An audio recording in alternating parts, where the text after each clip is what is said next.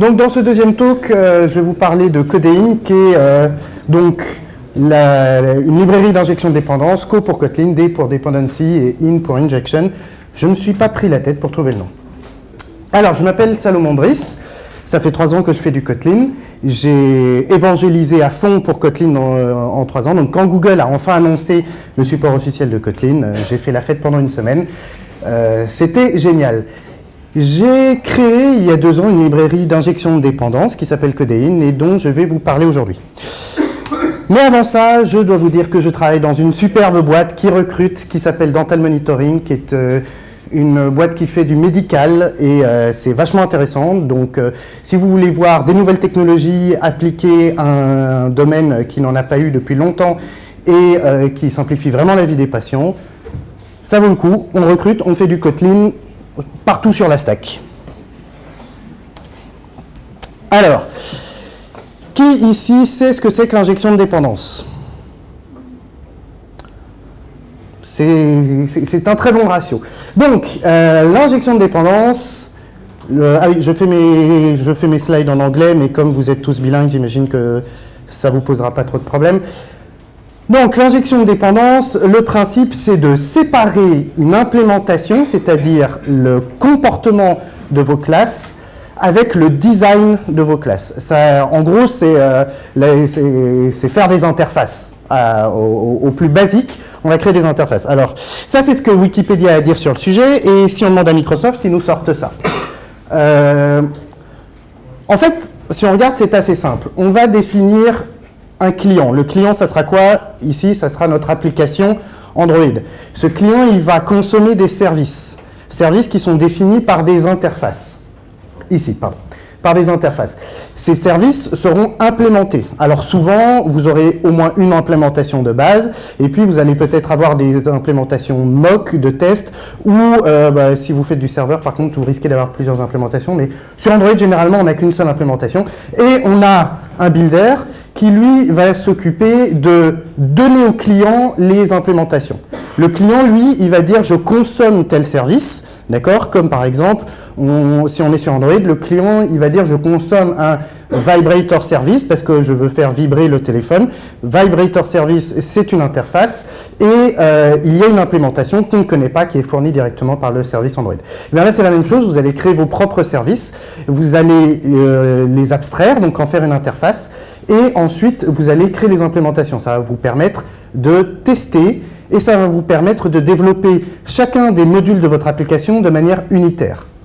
Et ensuite, chacun des modules de votre application va définir des dépendances et c'est le boulot du conteneur d'injection de dépendance de fournir les dépendances non seulement aux clients, mais aussi ce qu'on appelle les dépendances transientes, c'est-à-dire les dépendances des services entre eux. Alors, qu'est-ce qu'on peut injecter euh, quand on utilise l'injection de dépendance? Souvent, on va in- injecter déjà ce que je vous racontais, c'est les business managers, c'est-à-dire tout ce qui fait votre code métier, vous allez l'abstraire, vous allez le compartimenter et, vous allez déclarer les dépendances entre elles de manière à euh, pouvoir les tester de manière unitaire, de manière à pouvoir les développer de manière unitaire. Si vous faites du MVP, si vous êtes convaincu de MVP euh, comme moi, euh, une bonne idée, c'est d'injecter les présenteurs. De la même manière, ça va vous permettre au- de abstraire la couche qui va, euh, qui va binder les vues au présenteur. Évidemment, on peut injecter les services d'OS, donc c'est un peu ce que fait Android d'ailleurs. hein. D'ailleurs, quand on demande un vibrator service et qu'on reçoit une implémentation, on a demandé une interface. Quelque part, il y a eu un binding qui s'est fait dans le service Android pour dire voilà, je vais donner à cette application telle implémentation. Et globalement, on peut injecter n'importe quoi à condition de l'avoir abstrait au préalable. Qui utilise Dagger 2 D'accord. Ah, c'est quand même beaucoup moins que ce que je pensais, donc je suis assez content. Alors, euh, quand on fait de la publicité pour quelque chose, d'habitude, on crache sur les concurrents. Donc, euh, c'est ce que je vais m'employer à faire. Mais warning, ce n'est que euh, mes, vues et mes opinions. En réalité, Dagger 2 est utilisé dans beaucoup de projets, dont la plupart des projets Google eux-mêmes. Et c'est d'ailleurs Dagger 2 est développé par Google. Donc, j'aimerais être employé pour le reste de ma vie. Euh, c'est ce que je pense, mais Dagger 2 est une excellente alternative, euh, mais je pense pouvoir proposer mieux. Alors, quels sont les problèmes de Dagger 2 euh, Dagger 2 fait toute la validation at runtime. Oula, j'étais fatigué. Donc, la validation de Dagger 2 se fait à la compilation, évidemment, pas au runtime. Vous barrez ça dans votre tête. la compilation, donc, ça se fait à la compilation. Ça veut dire quoi? Ça veut dire que, de base, tout peut être checké euh, tout peut être validé à la compilation, tout est connu à la compilation. Donc ça, c'est plutôt une bonne chose, c'est plutôt une bonne idée. Si votre programme compile, c'est que toutes les dépendances sont fournies, c'est qu'il n'y a pas de dependency loop, c'est qu'on euh, est content. Cela dit, euh, ça pose quelques problèmes. Un des problèmes, c'est que vous êtes obligé de déclarer toutes les classes que vous allez injecter. Vous êtes obligé de faire une classe, je ne sais plus comment elle s'appelle, je crois que c'est injector ou quelque chose comme ça, qui va déclarer une à une toutes les classes que vous voulez injecter. Si jamais vous déclarez un nouveau manager avec des dépendances transientes, si jamais vous créez une nouvelle activity qui va être, qui va être injectée, si jamais vous déclarez un nouveau fragment ou whatever, vous devez le déclarer à Dagger. Parce que Dagger doit tout savoir tout le temps. Le problème de la, de la validation à la compilation, souvent, c'est euh, les erreurs de Dagger. Alors, ceux qui ont fait du Dagger seront peut-être pas d'accord avec moi. Moi, je les trouve indigestes, ces erreurs. Euh, elles sont très compliquées à comprendre parce que c'est des erreurs à la compilation. Alors, euh, ils ont fait des efforts sur ce sujet, mais pour moi, c'est insuffisant. Euh, les erreurs de Dagger 2 sont souvent assez compliquées à comprendre. Et surtout, le fait que tout doit être connu à la compilation, ça donne moins de flexibilité aux programmeurs. C'est-à-dire que c'est assez compliqué d'importer des modules de librairie qui va vous fournir des modules Dagger 2. C'est assez compliqué, par exemple, de euh, compartimenter votre code euh, et de, par exemple, faire des modules au niveau Gradle, donc c'est-à-dire des modules qui vont être compilés de manière séparément dans des jars et ce genre de choses, et de linker tout ça avec Dagger 2. C'est possible, mais c'est très difficile à faire. Alors, l'autre problème de Dagger 2, c'est qu'il est entièrement basé sur les annotations. Alors, quand on fait du Java, on n'a pas trop le choix. Hein. Quand on veut faire de l'injection de dépendance, on est un peu obligé de passer par les annotations. Ça veut dire quoi? Ça veut dire qu'on doit configurer nos modules à travers, euh, un système d'annotation euh, qui n'est pas très, pas, très agréable. Et euh, nos bindings en Dagger 2 ressemblent à ça. C'est-à-dire qu'on va déclarer une fonction et donc on va binder un manager avec un manager imp et on va déclarer les dépendances transientes ici. Là, on fait, en fait, bon, là, je vous l'ai mis en Kotlin, mais globalement, je déclare une fonction, je ne fais pas un binding. Moi, ce que j'aimerais, c'est quelque chose d'explicite. Y a-t-il des gens qui utilisent Juice? Ok. Alors, pour moi, le problème de Juice, en tout cas de Juice 4, c'est qu'il dépend de Guava. Ça veut dire 13 000 méthodes dans votre application d'un coup. Voilà. Euh, alors évidemment, on peut faire du tree shaking et euh, s'emmerder avec euh, avec tout ça, mais quand on fait de l'open source, c'est un peu chiant. Et puis, on est toujours annotation-based. Donc, on est toujours à déclarer nos dépendances par des annotations. En Kotlin, on peut faire beaucoup mieux. Alors, qu'est-ce qu'on aimerait pour une librairie d'injection de dépendance en Kotlin? C'est une vraie question. C'est-à-dire, quels sont les objectifs que la librairie que j'aimerais développer, donc c'est la question que je me suis posée il y a deux ans, fournirait. J'aimerais quelque chose de sémantique. Je bind telle interface avec telle implémentation dans tel scope. J'aimerais quelque chose d'idiomatique, c'est-à-dire j'aimerais quelque chose qui utilise le langage au mieux de ses fonctionnalités. Le langage Kotlin nous fournit beaucoup de choses, beaucoup de tools, beaucoup de sugars, et donc j'aimerais quelque chose qui me donne l'impression de faire partie d'un ensemble, et cet ensemble c'est Kotlin. J'aimerais quelque chose qui soit facile à utiliser. D'accord? J'ai pas envie d'aller euh, rajouter un, annotation processor, de vérifier que ça marche, etc. Je veux dépendre de la librairie et démarrer tout de suite. Je veux quelque chose qui soit débugable. Je veux quelque chose qui puisse, ou quand il y a des erreurs, parce que des erreurs il y a, c'est-à-dire lorsque j'ai des euh, dependency loops, lorsque j'ai des missing dependencies et ce genre de choses, j'aimerais quelque chose qui soit explicite et que je puisse comprendre en un simple coup d'œil.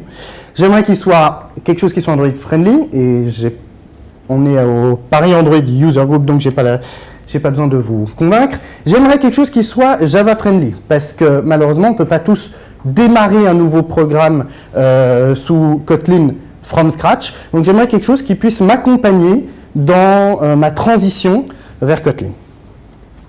Et j'aimerais enfin quelque chose qui soit documenté. L'injection de dépendance, c'est ce qui va c'est ce qui va binder entre eux tous vos modules. C'est un des composants les plus importants et les plus profonds de votre application, dans le sens où c'est lui qui va mettre en relation tous les modules, tous les business services et tout ça. Donc, on a quelque chose, on a besoin de quelque chose qui soit documenté de manière à bien comprendre comment ça marche, quelles sont les limites, qu'est-ce qu'on peut faire avec et euh, qu'est-ce qu'on peut euh, améliorer. Vous remarquerez que dans tout ça, j'ai pas dit j'aimerais quelque chose qui soit optimisé. Euh, et chez Google, ils sont assez fans de ce hashtag, perf matters. Euh, alors oui, la performance, c'est important, mais dans les critical paths. Si on regarde ART, donc l'Android Runtime, est-ce que tout le monde sait ce que c'est que l'Android Runtime ART? Levez la main si vous connaissez. Ok, donc euh, la moitié de la salle. Art, c'est c'est la machine virtuelle qui va exécuter vos applications. Avant, elle s'appelait Dalvik et euh, depuis Android 5, elle s'appelle Art. Et en fait, Art, avant, il compilait tout parce que parce que parce qu'il fallait compiler, donc on faisait du native code comme ça, c'était super rapide. Et en fait, euh, Google s'est rendu compte que euh, ben, compiler tout, ça prenait énormément de temps à l'installation. Et donc du coup, lorsqu'on installait l'application, il compilait tout en native code. Et maintenant, depuis Android N, ils se sont rendus compte que en fait, c'est intéressant de compiler, mais que dans les critical paths c'est-à-dire dans les endroits où on a besoin de performance, dans les paths où on va repasser très régulièrement. Or, l'injection de dépendance, ce n'est pas un critical path. L'injection de dépendance arrive exclusivement lorsque vous créez vos objets, lorsque vous créez les activités, lorsque vous créez vos objets. Et donc l'injection de dépendance arrive une fois, et donc ce n'est pas un critical path. Tout ça pour dire que Codeine, c'est pas pas optimisé, j'ai quand même passé pas mal de temps à optimiser Codeine, mais c'est pas non plus l'objectif premier d'une librairie d'indépendance. Tous les objectifs que je vous ai donnés avant sont pour moi, en tout cas, beaucoup plus importants. Et sur tous les benchmarks euh, qu'on a fait euh, depuis deux ans avec euh, toutes les personnes à travers le monde qui utilisent Codeine, ils se sont tous rendus compte qu'en réalité, Codeine était largement suffisamment optimisé pour ne pas avoir besoin de d'avoir l'optimisation à la compilation parce que l'injection de dépendance, ce n'est pas un critical path. Donc, en injection de dépendance, la,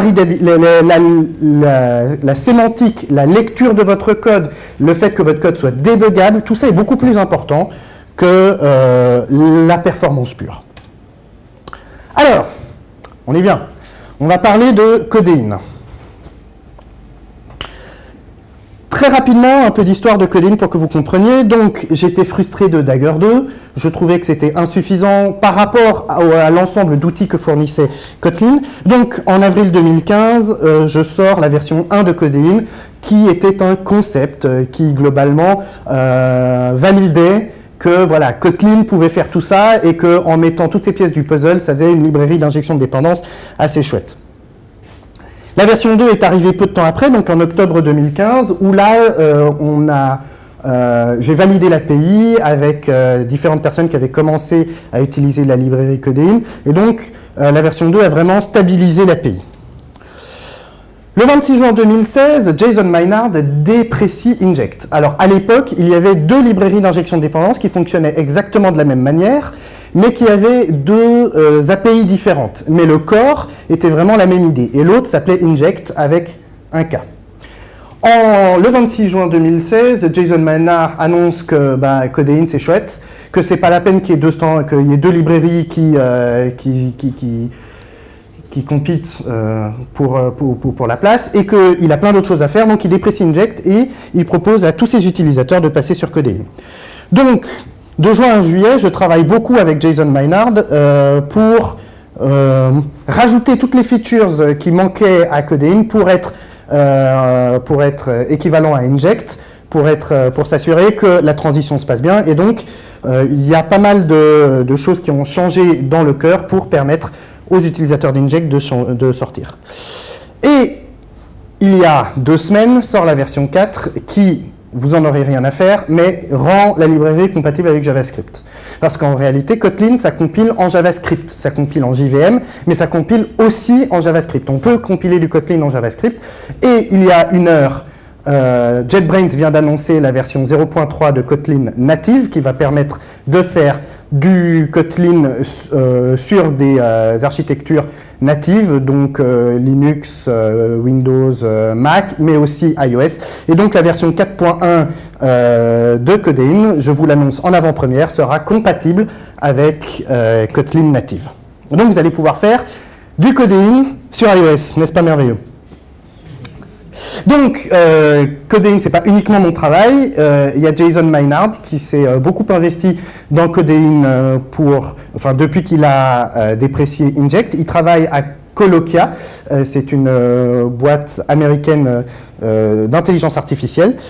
Et euh, maintenant, tous leurs services utilisent euh, Codeine. Et Eliezer Graber, qui me semblait important de noter ici, parce qu'il a fait plus de la moitié du travail sur l'intégration de Codeine dans Android. Et euh, donc, comme comme c'est le sujet qui nous intéresse aujourd'hui, il me semblait important de le nommer, parce qu'il a vraiment fait un travail assez incroyable sur Codeine pour Android. Codeine est fortement documenté. Ouh le Wi-Fi fonctionne.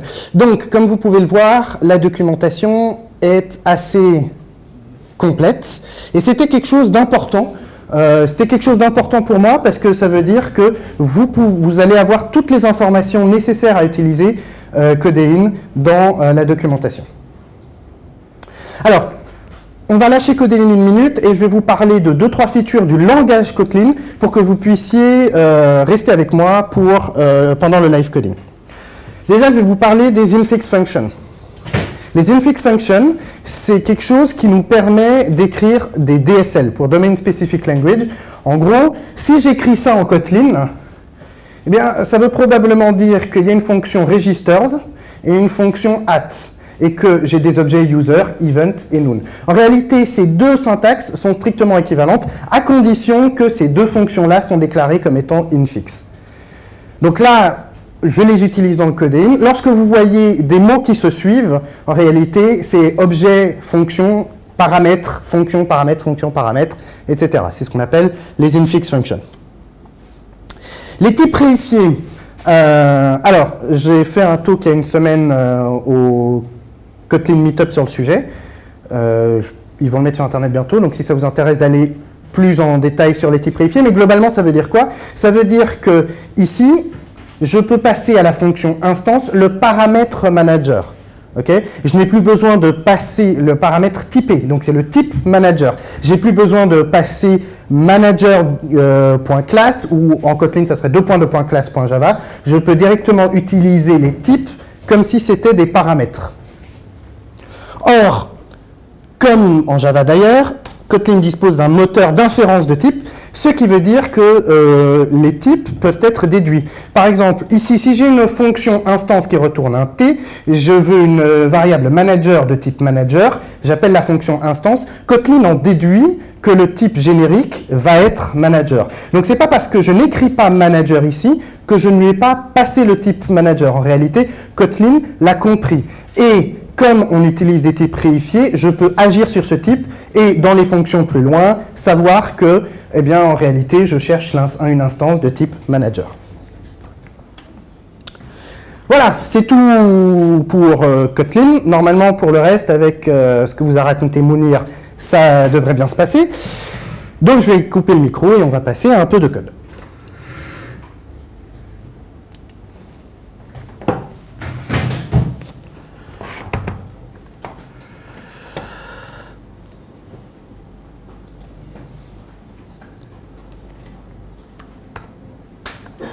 Alors, je vais déjà vous montrer euh, une application classique qui n'utilise pas d'injection de dépendance.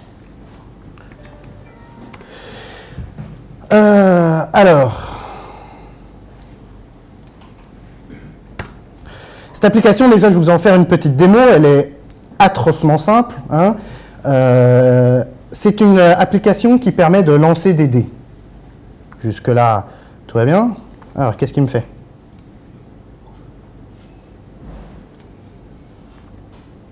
Il me la lance pas. Veux-tu bien me lancer? Ok, donc non. Ah d'accord, c'est l'émulateur qui a planté, il n'a pas supporté le slip. Toutes mes excuses. C'est quoi le raccourci? C'est Shift FT. Ah voilà. Donc on a une application avec un certain nombre, un petit view pager, un certain nombre de dés. Les rôlistes les connaissent, le D6, le D8, le D10, le D12 et le D20. Et à chaque fois, ah, à chaque fois que je relais un dé, je clique sur roll, ça me donne un résultat. Et si ce roll est 1, 2, 3, j'ai relais bad luck. Et si ce roll est 4, 5, 6, j'ai relais luck. Et il me donne mon pourcentage de luck. C'est extraordinaire comme application, mais voilà, cette application n'a pas... Cette application n'a pas d'injection de dépendance.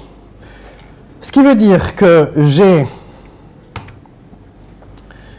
une activité, toute simple, où je définis mon view pager euh, et où je définis mes fragments. J'ai différents fragments par exemple le euh, luck fragment. Et euh, ce fragment, euh, donc moi je, moi je code souvent en MVP, donc j'ai un présenteur. Et ce présenteur, le fragment va utiliser le va parler au présenteur et le fragment implémente le, la vue du présenteur et donc cette luck. Et si je vais voir le présenteur, c'est une interface. On est dans du MVP super classique et l'implémentation est relativement simple. J'utilise un peu de RX Java parce que euh, parce que c'est cool. Voilà. Ça, c'est la meilleure explication quand vous allez voir vos, euh, vos responsables techniques. J'utilise RX Java parce que c'est cool. Ça marche toujours très bien. Donc voilà. Alors, ce by lazy, ça veut dire quoi? Ça veut dire que euh, le log présenteur imple ne sera créé, ne sera accédé que la première fois où j'accède à la variable présenteur. Pourquoi est-ce que je fais ça? Simplement euh, parce que j'ai pas envie de la, déclarer nullable et ensuite de euh, la ensuite de la créer dans le onCreate du fragment. Je préfère la créer la première fois que j'y accède et puis la première fois que j'y accède, elle sera créée. Le reste du temps, ça sera bon. Donc là, elle sera très probablement créée à onStart. Euh, vu que c'est la première fois euh, dans le cycle de vie du fragment que j'appellerai euh, ce présenteur. Donc c'est ça que veut dire ce by lazy. Ok? Tout le, monde, tout le monde va bien? Pas trop chaud? Pas trop soif? On continue. Donc là, ce qu'on voit, c'est que j'ai une fonction, enfin j'ai une variable présenteur, mais je la déclare de, type loc présenteur imple ce qui normalement n'est pas très propre. C'est-à-dire que la vue, c'est déjà l'implémentation du présenteur qu'elle va utiliser. C'est pas, c'est pas très beau. De la même manière, si je vais dans mon Dice Application, j'ai un lock processor. Lock processor, c'est une interface. Et directement, on sait que euh, on va chercher le lock processor 1. Donc l'application, elle dit j'ai besoin d'un lock processor et ça sera un lock processor imple parce que euh, bah, il faut bien que j'aille le chercher quelque part. Et ce lock processor imple, il a une euh, il, a une dépendance, donc une dépendance transiente, on pourrait appeler ça, qui est un type Moving Average Calculator. Vous savez, les Moving Average, c'est la, moyenne glissante. C'est à chaque fois qu'on rajoute une valeur, on recalcule la, moyenne de, la totalité. Et euh, pareil, si je reviens là, l'application, il va passer directement euh, le Moving Average Calculator. Bon, on pourrait faire mieux. Si on va voir le présenteur, pareil, il a un log processor. Ce log processor, il est statique dans l'application. Ouh, c'est pas bien. Et en plus, on sait où aller le chercher. Enfin, tout ça, c'est une application qui marche. Hein. La preuve, je vous ai montré qu'elle fonctionnait. Mais c'est une application qui est en l'état quasiment intestable parce que tout dépend de l'implémentation. Bon, comment est-ce qu'on pourrait améliorer ça En mettant euh, une librairie d'injection de dépendance? Donc, je vous propose d'utiliser Codeine. Qu'en pensez-vous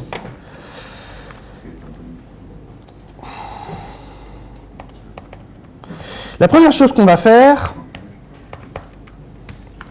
euh, pardon, c'est dans notre application, on va déclarer que notre application est codeine aware. Parce qu'il faut être aware. Alors, on va le laisser réfléchir une seconde.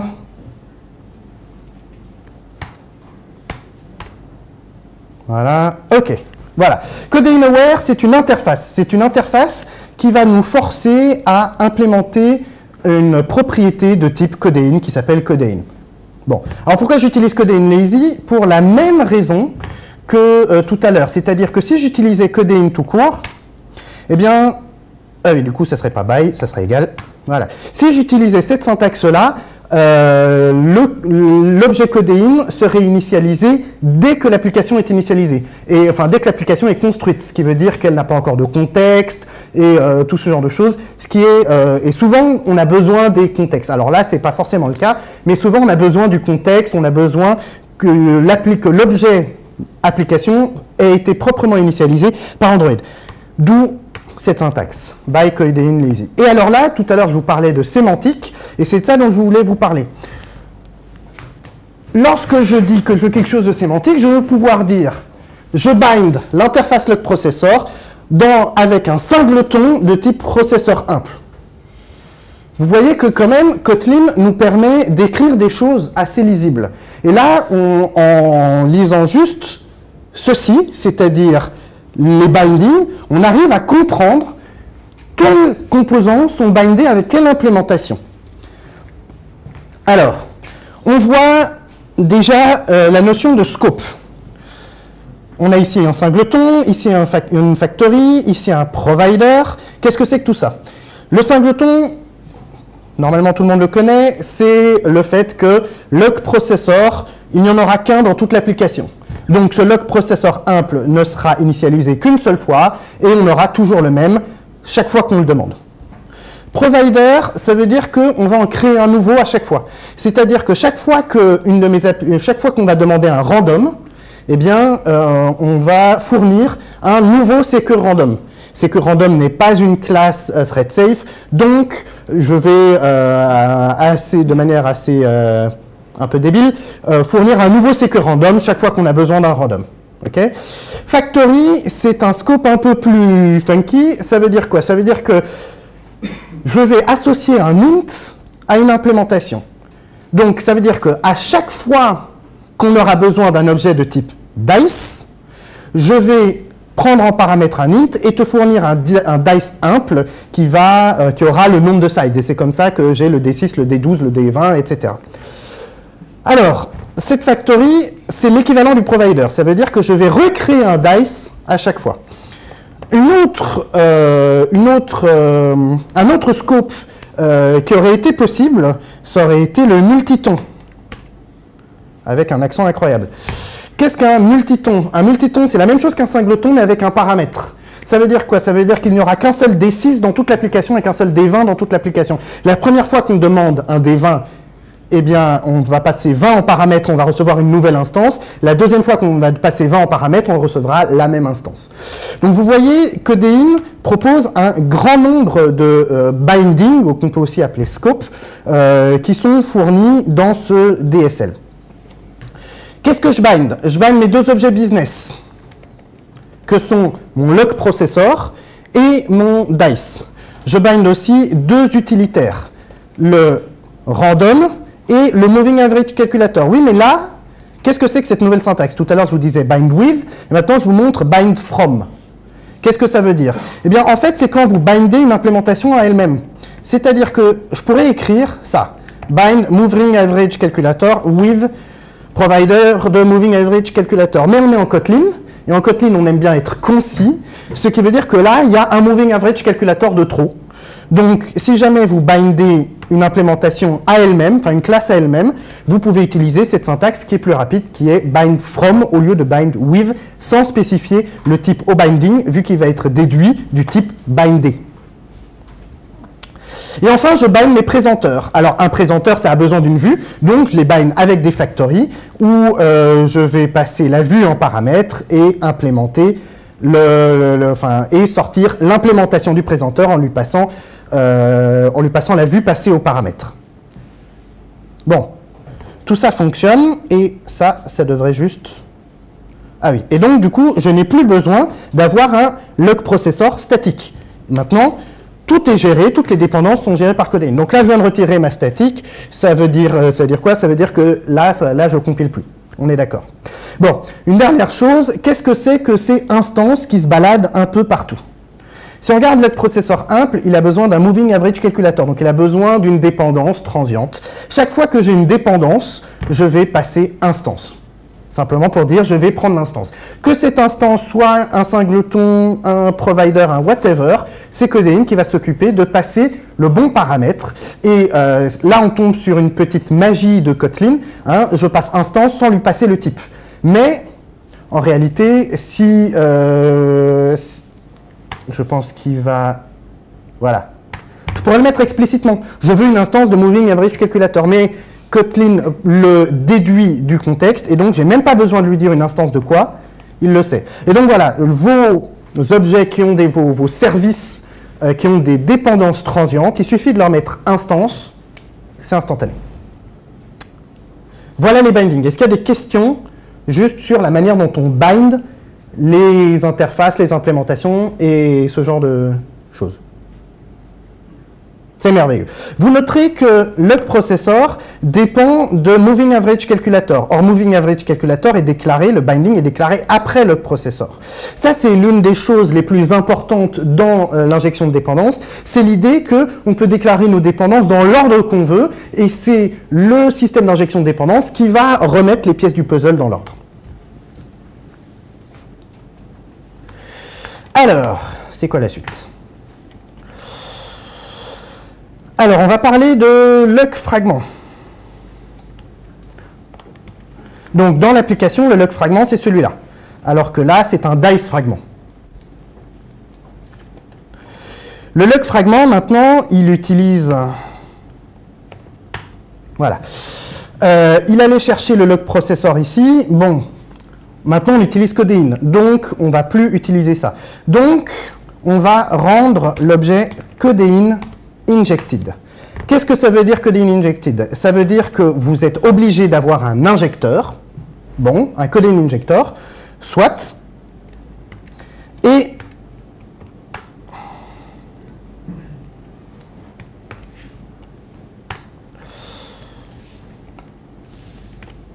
Voilà comment vous allez chercher la dépendance.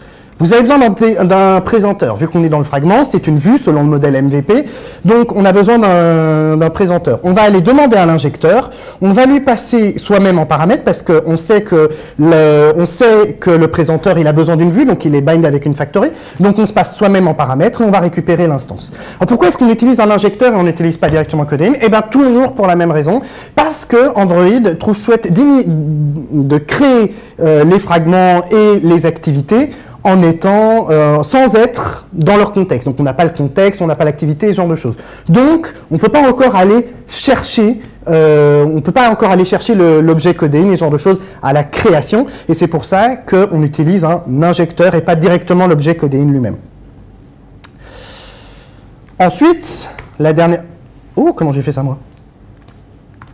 Je crois que j'ai fait Shift entrée, mais c'est bon à savoir. Euh, la dernière chose à faire, c'est dans le onCreate du fragment, c'est de dire. Voilà.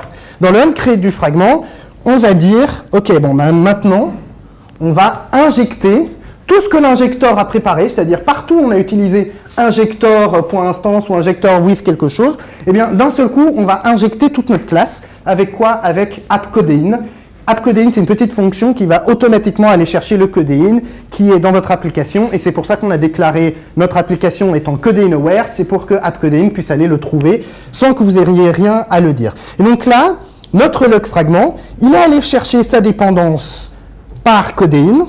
Il s'est injecté dès qu'il pouvait, c'est-à-dire dès qu'il avait le contexte. Et donc maintenant, il ne sait plus qu'il a un lock présenteur imp. Il sait qu'il a un lock présenteur. Et donc on avance vers l'atomicité développement, vers le la compartimentation des modules et vers la testabilité des 10 modules. Alors, pour une raison que je vais vous expliquer juste après, je vais rendre la main, je vais changer la main activity en la mettant en codeine appcompat activity au lieu euh, d'appcompat activity. Alors ne hurlez pas. Il y a moyen de faire ça sans utiliser l'héritage. Mais il faut implémenter des trucs. Donc c'est tout à fait possible euh, d'être App Compat Activity ou euh, avec ce que euh, Android vient de sortir, Lifecycle Activity ou ce genre de choses. Et vous aurez exactement le même résultat. Il faudra juste implémenter quelques lignes en plus que j'avais la flemme de vous montrer aujourd'hui. On va s'intéresser à l'autre fragment, d'accord, qui est Dice Fragment. Le Dice Fragment, bon, alors je pourrais faire exactement la même chose. D'accord? Je pourrais le déclarer codé injected, avoir mon, déclarer l'injecteur euh, et euh, déclarer euh, enfin, récupérer mes dépendances via cet injecteur. Et enfin, dans le onCreate, avoir, avoir cette, enfin, injecter mon injecteur pour récupérer toutes mes dépendances. Ou je pourrais déclarer que je suis un codé in support fragment au lieu d'être un support fragment. Si jamais vous pouvez le faire, c'est toujours plus pratique que de faire tout ce que j'ai fait. Je vous ai montré que vous n'étiez pas obligé de le faire, donc on n'est pas obligé de s'intégrer dans la hiérarchie des classes Android, mais si vous pouvez le faire, c'est quand même plus facile, parce que du coup, je n'ai pas déclaré d'injecteur et je n'ai pas à euh, m'intégrer dans onCreate, j'ai juste à récupérer. Mais oui. Voilà. Voilà. J'ai juste à récupérer euh, un présenteur et noter que là, je pourrais faire injector, voilà. Zut. Voilà. Je pourrais faire injector.with parce que comme je suis un coding support fragment, je suis injecté, etc. Mais je peux même aller plus loin, supprimer injector. La magie de Kotlin fait que ça marche tout de suite. Et donc on a une syntaxe qui est très euh, sémantique. On va dire ça. Et donc vous voyez que là, récupérer la dépendance est très rapide. Ok, alors, ça devrait marcher, mais il va y avoir un problème. Parce que les dieux de la démo ne sont jamais... Ah, ça marche Incroyable. Bon, donc là, on a correctement compartimenté. On a quoi? On a à aucun moment, à plus aucun moment dans le code, on a euh, une création ou une référence à une implémentation. Euh, on n'a que des références aux interfaces. Ce qui veut dire que tous nos objets, y compris euh, alors le lock processor imp que j'ai pas modifié parce que c'était déjà le cas, il prend bon alors ça c'est une implémentation, Voilà. Mais euh, nos fragments, notre activité, euh, nos, différents présenteurs, tout ça est complètement compartimenté et tout ça peut être, euh, peut être utilisé de manière atomique et testé de manière atomique. Du coup, maintenant, on a fait de l'injection de dépendance, on peut aller se coucher. Mais on peut, on peut, on peut faire mieux. On peut faire mieux. Qu'est-ce que je veux dire par on peut faire mieux? Je voulais aller voir l'application, pardon. On peut faire mieux parce que souvent, vous allez avoir un petit peu plus que C-Binding. Dans une application euh, un peu plus volumineuse, vous allez avoir un petit peu plus que C-Binding. Et puis peut-être dans une application vraiment volumineuse, vous allez avoir différentes équipes qui vont euh, travailler sur différents modules de l'application. Et donc, vous ne voulez pas forcément que tout soit déclaré ici. Donc, on va modulariser un peu tout ça. Alors, comme je ne sais pas le faire en présentation mode, je vais le faire rapidement comme ça. Dans, euh, mes business, je vais créer un nouveau fichier qui va s'appeler business, euh, business module. Voilà. Et quand tu veux, On est bon. Voilà. Je vais revenir sur ce, je vais revenir dessus et du coup, je retire business. Je vais repasser en presentation mode dans une minute. Et je crée un présenteur module qui lui est dans mes présenteurs. Je précise que ce code est sur GitHub. La version avant et la version après, donc la version sans injection de dépendance, la version avec injection de dépendance et ce petit fichier qui vous explique comment passer de l'un à l'autre et faire tout ce que j'ai fait. Donc c'est sur le GitHub euh, Salomon Brice présentation. Vous pouvez le trouver assez facilement si vous voulez retourner dessus. Voilà. On repasse en presentation mode. Donc, qu'est-ce que j'ai fait Pour l'instant, j'ai retiré mes bindings euh, de, euh, de mon application, enfin de, de mon coding de base, Et j'ai créé deux modules, un qui s'appelle Business Module et l'autre qui s'appelle Présenteur Module. Qu'est-ce que c'est un module Eh bien, au lieu d'être un coding, donc au lieu d'être un objet coding classique dans lequel vous définissez vos dépendances, c'est un objet coding.module. Mais sinon, c'est exactement la même chose. Vous voyez, la syntaxe est exactement la même. On prend les bindings, on les met dans un module, ça nous a fait un module. La même chose pour mes présenteurs. Donc j'ai mes business dans mon business module, j'ai mes présenteurs dans mon présenteur module. Le UI est, euh, est bien séparé du business, c'est magnifique.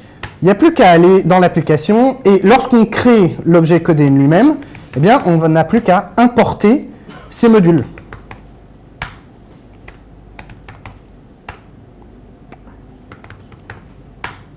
Voilà. Comment vous pouvez modulariser euh, vos, applications. Vous, créez des modules et ensuite vous les importez dans le coding. Ça vous permet d'avoir une équipe qui va s'occuper des business, une équipe qui s'occupe du présenteur et dans l'application, vous avez qu'à importer leurs modules. Comme vous pouvez le voir, on est toujours sur quelque chose de très sémantique, de très lisible. On n'est pas... je suis obligé de cracher sur Dagger 2. On n'est pas dans les annotations at module, at euh, injector ou etc. où on dépend, où on, crée. On est sur des choses beaucoup plus simples que de la configuration par annotation. On est sur un DSL. J'importe le business module, j'importe le présenteur module, je bind mon random avec un secure random dans un provider, dans un scope provider. Ah bah du coup j'ai perdu mon truc donc je vais réessayer. Shift entrée. Incroyable. Alors, on va s'intéresser un peu aux erreurs de Codeine, parce que je vous ai dit que pour moi, il était important que Codeine soit lisible aussi quand on se foire, parce que personne n'est parfait, on se foire tout le temps à un moment. Ok? Donc, imaginons que je retire le, moving le binding du moving average calculator. Mon lock présenteur dépend, enfin mon lock fragment dépend du lock présenteur. Le lock présenteur dépend de, euh, mon lock euh, euh, merde, je ne sais plus comment il s'appelle. Lock processor et mon lock processor dépend de moving average calculator. Donc dans la chaîne de dépendance, il va nous manquer une dépendance, il y a quelque chose qui ne va plus marcher. Voyons voir ce qui se passe quand je lance l'application.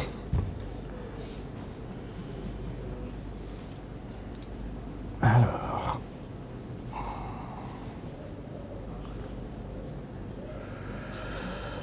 Mais il est où le 4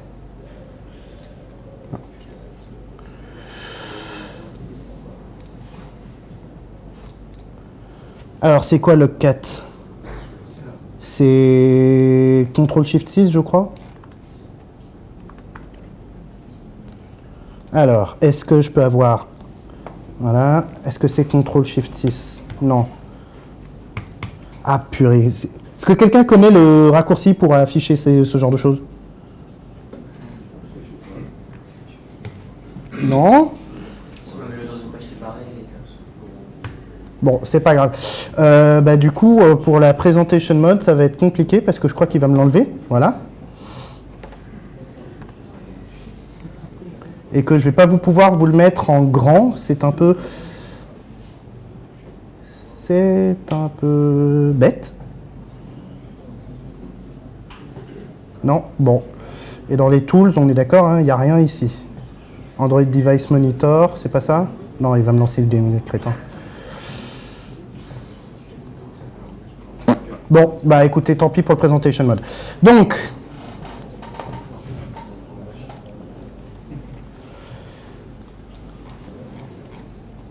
Ok, alors euh, je suis désolé, euh, regardez bien. Euh, qu'est-ce qu'il nous dit? Il nous dit que ben, il a rien vu qui providait Moving Average Calculator. Il manque Moving Average Calculator. Mais il va même aller plus loin. Il va vous dire voilà tout ce que tu as bindé. Donc tu peux voir. Tu as bindé un log présenteur avec une factory qui prend en paramètre une vue et qui me file un log présenteur imp. Tu m'as bindé un random avec un secure random. Tu m'as bindé tout ça, mais moi dans tout ça, j'ai pas de Moving Average Calculator.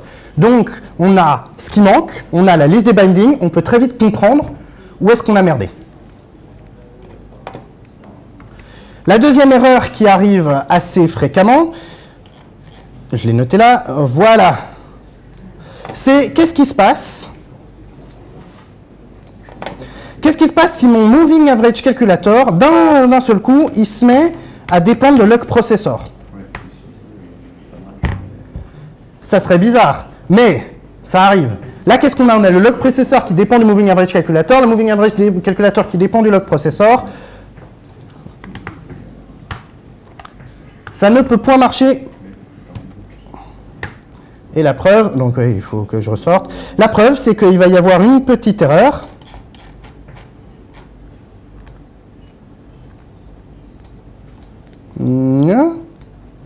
Voilà.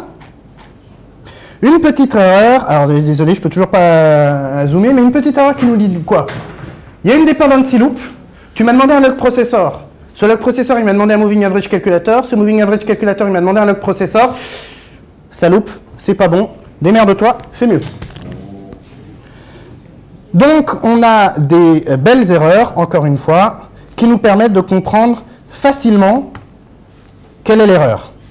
Et enfin, la dernière erreur qui arrive assez régulièrement, c'est si je déclare deux fois, si je bind deux fois la même chose. Alors, généralement, ça ne se passe pas dans à la suite comme ça. Généralement, les gens sont plus intelligents que ça, mais ce qui se passe, c'est que votre business module va déclarer un présenteur, euh, va, va déclarer un random parce qu'il en a besoin. Votre présenteur module va déclarer un random aussi parce qu'il en a besoin. On a deux bindings de random, les deux équipes ne sont pas concertées il y a un override. Et de la même manière, l'erreur est assez... Alors, est-ce qu'il me l'a mis au même endroit? Voilà, l'erreur est assez compréhensible. Binding de random must not override un existing binding. On va voir où ça. Ah, là, je déclare un random alors que j'en avais déjà déclaré un. Jusque-là, c'est assez facile à comprendre. Alors, maintenant, disons...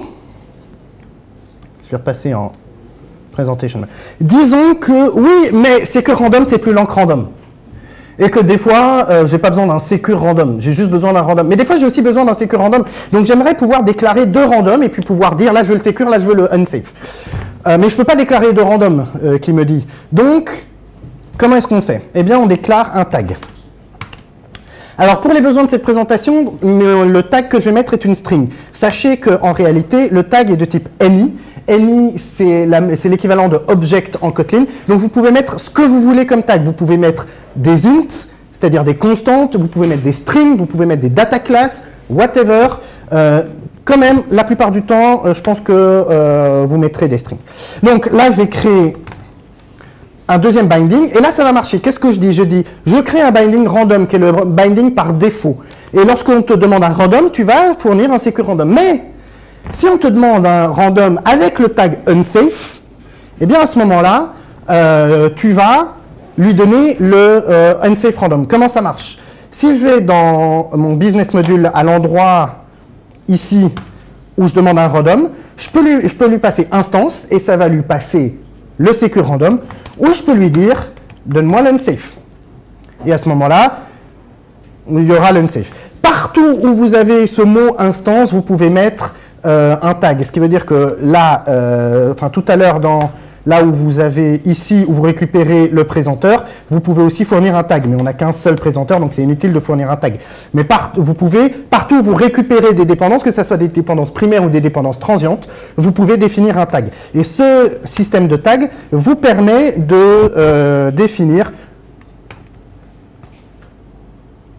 vous permet de définir plusieurs fois le même type bindé en sachant que vous en aurez un par défaut et les autres sur les demandes du tag. Vous pouvez aussi ne définir que des tags et en avoir aucun par défaut. Je n'ai pas encore compris à quoi ça servirait de faire ça.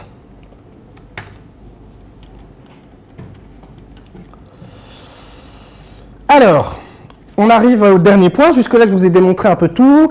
C'est sémantique, c'est idiomatique, c'est facilement débugable, c'est lisible, c'est bien documenté, tout ça c'est chouette. On n'a pas tous le luxe de pouvoir aller voir notre patron nous dire Kotlin ça déchire, on va tout refaire en Kotlin. Euh, on va faire un feature freeze pendant 4 mois le temps que, je passe tout à Kotlin euh, et, ça sera cool, tu verras. On n'a pas tous, euh, en fait personne n'a ce luxe-là, donc il faut être compatible avec du code Java. C'est pas drôle, mais c'est comme ça. Alors comment est-ce qu'on peut faire ça? J'ai ici une petite classe Java que je vais créer rapidement.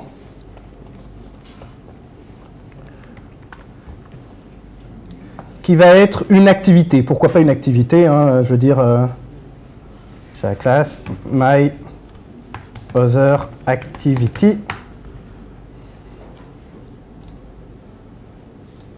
Voilà. Et cette my donc là on est dans du Java, malheureusement, on n'est pas dans du Kotlin. Voilà. Donc qu'est-ce qu'elle raconte? Elle raconte que c'est une activity, qu'elle a besoin d'un log processor, et puis euh, dans un onCreate, évidemment là je ne l'ai pas mis, mais on mettrait hein, cette euh, content view et, euh, un layout et tout ça. Bon, qu'est-ce qui se passe? Il se passe que ici on a l'annotation at inject. Codeine fonctionne avec les annotations. Mais je vous ai dit que les annotations, c'était nul tout à l'heure. Et je le pense toujours. Mais le fait est que dans du code Java qu'utilise Dagger 2 depuis 3 ans, je ne vais pas vous demander d'aller revoir tout votre code. Donc, at inject, Ici, normalement, vous devriez, dans le onCreate de votre activity, si vous faites du Dagger ou du Juice ou whatever, vous allez chercher votre injecteur Dagger et vous dites inject me. Et bien là, c'est la même chose, sauf qu'on va utiliser ce petit truc qui s'appelle JX, parce que euh, euh, c'est Java X, euh, ces annotations sont standards, donc j'ai appelé ça JX. On va faire JX.off en allant chercher le coding, donc on va le chercher en Java. Donc on va récupérer notre application, on va récupérer notre codeine, et ensuite on inject this. Donc partout où vous utilisez votre injecteur Dagger, vous pouvez utiliser l'injecteur codeine en utilisant jx.off. En réalité, il manque une dernière petite chose à faire. Dans votre DICE application, il faut importer le JX module. JX Injector Module, pour que ça marche. Une fois que vous avez fait ça, vous, euh, importez votre JX Injector Module dans Codeine, et à partir de là, euh, toutes vos injections Dagger 2 fonctionnent. Ça fonctionne avec toutes les, toutes les annotations de JavaX qui sont supportées par Dagger et Juice. Je pense notamment au at provider, euh, enfin au at qui, ça peut être at provider function ou at... Non, c'est provider pourtant. Ah bon, je sais pas, bon, je sais pas où faut aller là. Ça marche notamment si vous faites un provider de log processor euh, comme ça, comme pour, euh, enfin toutes, enfin toutes, pas toutes, mais la plupart des fonctions classiques de Dagger 2 sont supportées par Godin dans l'objectif de vous favoriser le, euh, la transition. En Kotlin, par pitié, n'utilisez pas les annotations. Parce que pour faire supporter les annotations, là, il y a un performance pitfall. C'est-à-dire que, bon, alors, c'est optimisé au mieux que possible, il y a un cache, etc. Mais c'est débile de passer par des annotations, alors que Kotlin nous fournit une syntaxe qui est très agréable pour faire ça. Donc, utilisez ça uniquement sur du code Java. Inutile de l'utiliser sur du code euh, sur du code Kotlin, sur les codes Kotlin, vous avez les injecteurs, vous avez euh, toutes ces choses-là qui sont quand même beaucoup plus agréables à utiliser en Kotlin. C'est la fin de cette démo, donc on va retourner là. Alors, je vous ai prouvé, enfin en tout cas j'espère vous avoir prouvé, que euh, Kotlin est sémantique, et je dis ça parce que vous avez vu la manière dont on déclare les bindings, c'est un DSL, on déclare telle interface dans tel scope avec telle implémentation, c'est facile à lire, à comprendre. C'est idiomatique parce que il y a du Kotlin partout il y a du Kotlin partout et euh, résultat, euh, euh, on, a vraiment l'impression d'utiliser un outil de Kotlin. On n'utilise pas un outil de Java en Kotlin, on utilise un outil qui, qui a pris le parti d'utiliser Kotlin au mieux de ce que Kotlin pouvait nous fournir. Comme vous l'avez vu, c'est très facile à utiliser et surtout à bootstrapper. Vous, vous dépendez de Kotlin, de Kotlin dans votre Gradle, et vous créez un objet codéine, vous bindez, vous injectez, enfin tout se fait de manière très logique et très fluide. C'est débuggable. Je vous ai montré les différentes erreurs et vous avez pu voir que j'ai même fait de la ski art pour que ça soit lisible. C'est Android friendly. Alors je ne vous ai pas montré à fond tout ce qu'il y a dans Android. Notamment Codeine peut vous injecter automatiquement les dépendances du système. C'est-à-dire qu'au lieu d'aller euh, récupérer un système service et de le caster, Codeine, vous pouvez euh, récupérer euh, by instance et directement il va aller demander au système Android. Et voilà. Il va même vous permettre, alors c'est pour des cas plus tricky, de créer des scopes en fonction de vos composants. C'est-à-dire vous allez pouvoir créer un scope par activité et donc avoir toujours le même objet par activité. Lorsque vos fragments dépendent de, lorsque vos fragments ont des dépendances, ils vont vous allez pouvoir avoir des activity singleton de manière à ce que tous les fragments qui sont attachés à la même activité récupèrent le même objet et qu'ils récupéreraient un autre objet associé à une autre activité. Vous allez pouvoir avoir des activity scopes et ce genre de choses. C'est Java friendly, donc vous pouvez passer facilement de Dagger ou de Juice euh, ou de tout ce qui utilise AtInject euh, comme annotation. Et c'est documenté euh, assez... J'ai passé beaucoup de temps à la documentation. aussi, je vous engage à aller la lire si jamais Codeine vous intéresse. Merci de m'avoir écouté. Et est-ce que vous avez des questions?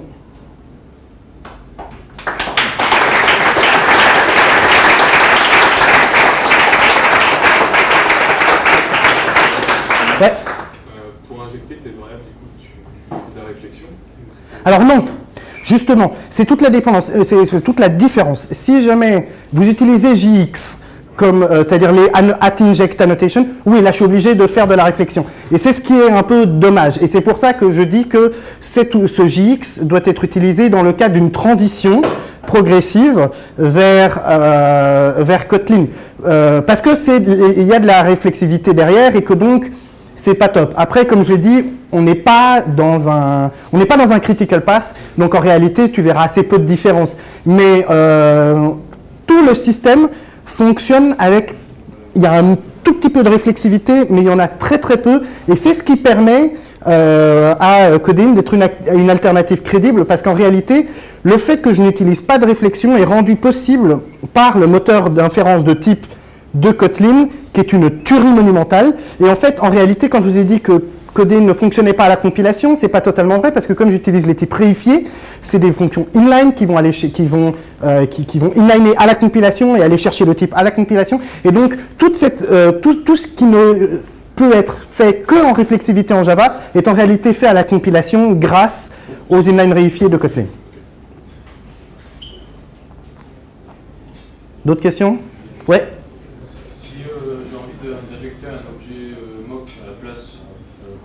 Ouais.